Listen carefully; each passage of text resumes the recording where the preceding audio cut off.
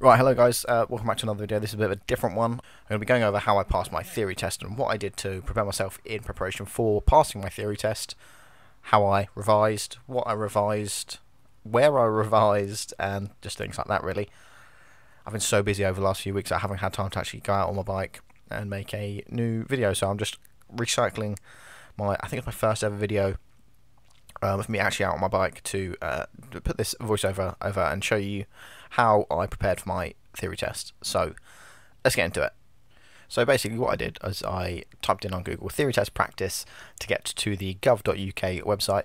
I'll be putting all of the, the links to everything that I used in the uh, the bio so if you are interested in how I prepared myself for the theory test then uh, just check the bio. It'll be in there. Um, I'll place some screenshots on screen now as well as to what website I used and and things like that. So once you're on the uh, gov.uk website and it says take a practical theory test, uh, you can you've got selections for cars, motorcycles, lorries, buses, and coaches. Obviously, we want the motorcycles one, so we click that. It then brings up a practice theory test one for motorcyclists. It has 50 questions. You need to get 43 correct to pass, and you'll have 57 minutes to do it. It is plenty of time to do it, so don't like stress yourself over the time limit. 57 minutes is a lot of time to be able to do it.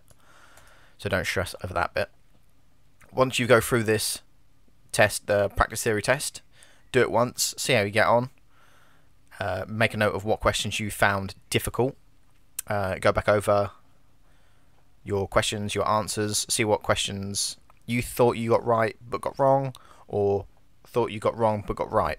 All you need to do is just embed that into your brain it, it sounds easier than it is, but it really is easy. All I kept on doing was this theory test over and over and over again until I was getting 49 out of 50 or 50 out of 50 questions and made sure I knew everything there was on this practice theory test because I don't think it, this theory test on the gov.uk website actually changes the questions at all.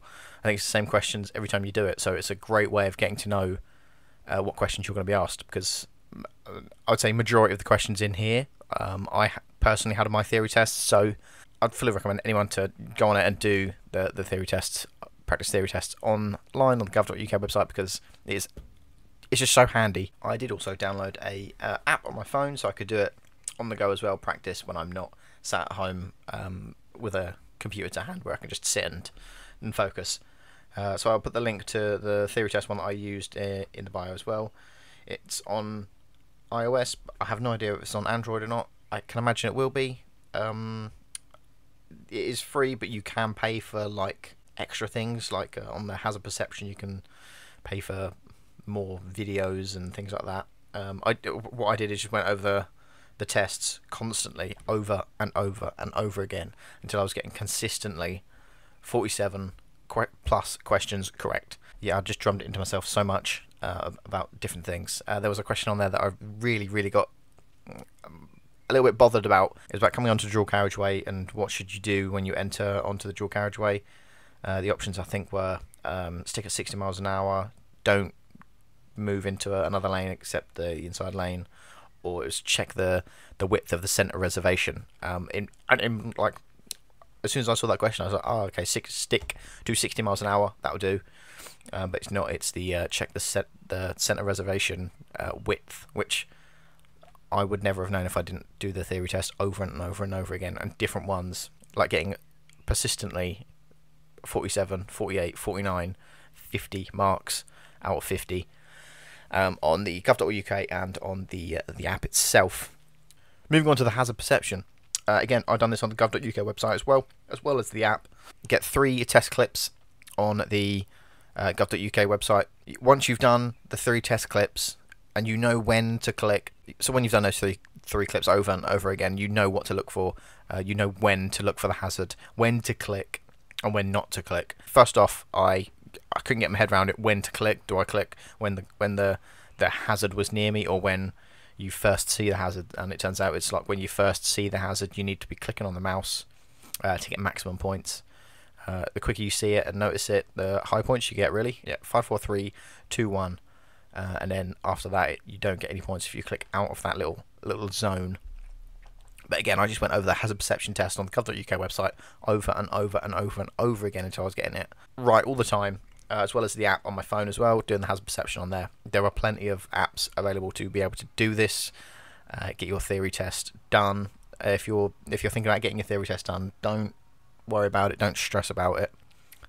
Get you, get some practice in. Do plenty of mock tests.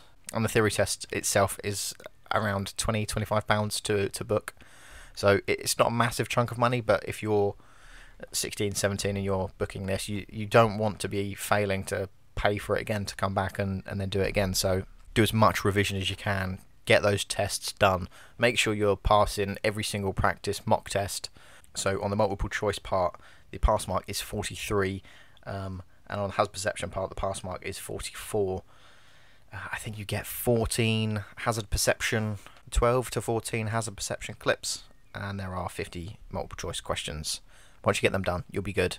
Anyway, I hope you've enjoyed this video. I saw it's a bit of a, a random, different video, but I I needed to get a video out this week. I'm I'm trying to stick to my upload schedule of one video a week, getting it done, and just trying to hold myself accountable for uploading videos because I really enjoy it. I really enjoy making videos. I really enjoy uploading videos. So, again, apologies for this random, non actual motorcycle video, but I really wanted to get this theory test one out because uh, I, there's so, I've had so many people in the comments uh, mentioning that they're going to do their theory test soon. They've booked their theory test, so it'd be nice to give give them give you guys a bit of background as to how how it goes really and how my experience went.